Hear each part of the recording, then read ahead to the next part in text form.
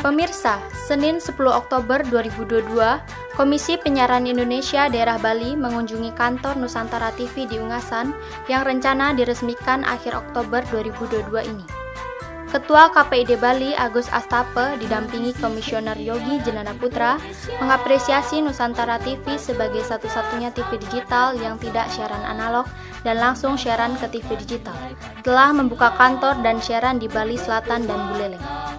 Keberadaan Nusantara TV jelang pemberlakuan ASO atau peralihan dari TV analog ke TV digital 2 November 2022 diharapkan makin menyemarakan konten lokal dalam siaran TV sehingga kearifan Bali dengan mengangkat adat dan budaya Bali makin maksimal.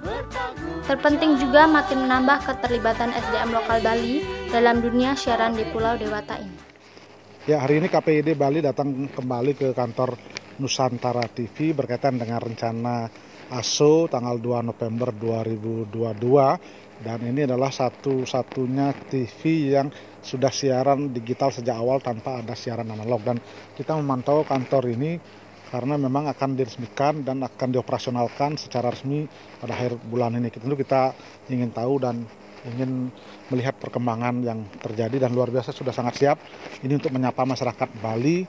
Mudah-mudahan dengan keberadaan Nusantara TV yang ada di Bali akan makin menambah konten lokal, kemudian kearifan lokal, SDM lokal, dan juga nanti pada muaranya adalah bagaimana kita bersama-sama menciptakan penyiaran Bali yang sehat dengan adanya TV digital tersebut. Selamat kepada Nusantara TV.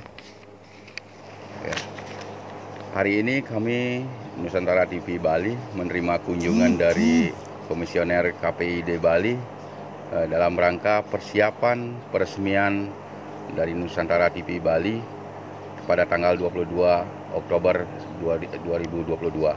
Jadi sekali lagi kami ucapkan terima kasih yang sebesar-besarnya kepada KPID Bali yang telah mensupport kegiatan kami ini.